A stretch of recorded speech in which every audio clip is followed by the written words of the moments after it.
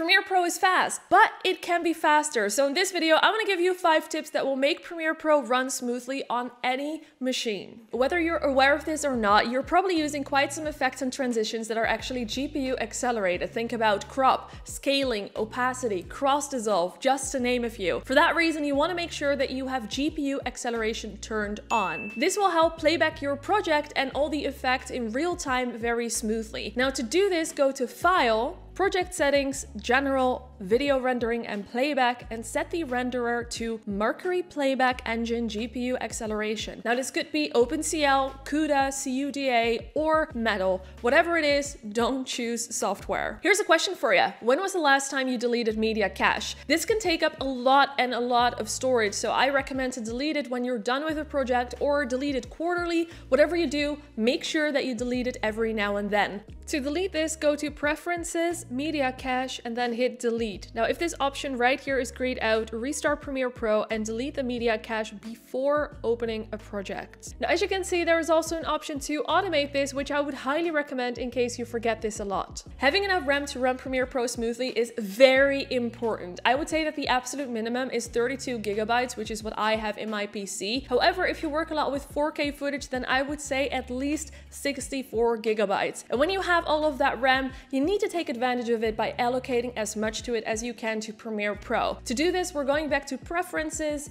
Memory, and then allocate as much as you can. If the playback is choppy, try lowering the resolution. You can do that right here in the right corner. You probably don't want to lower it below one fourth, but honestly, you gotta do what you gotta do. Another great way to run your project more smoothly is by using proxies. Essentially, when you're creating proxies, you are downgrading the footage so it gets easier to edit. Now, you don't need to worry because you're not actually affecting the original quality of the original files. So yes, when you're done editing with proxies, you can still export stunning 4K videos. So how do we do this? Step 1. Open the media browser within Premiere Pro. Step 2. Click on the wrench and then click on Create Proxies from the drop-down menu. Step 3. Choose your preset. And step 4. Click on OK, then right-click on the folder that you want to import and click Import. Now you're seeing that automatically the Adobe Media Encoder is being opened and your proxies are being created. To check if the proxies are actually attached to the files, you can go right here to List View,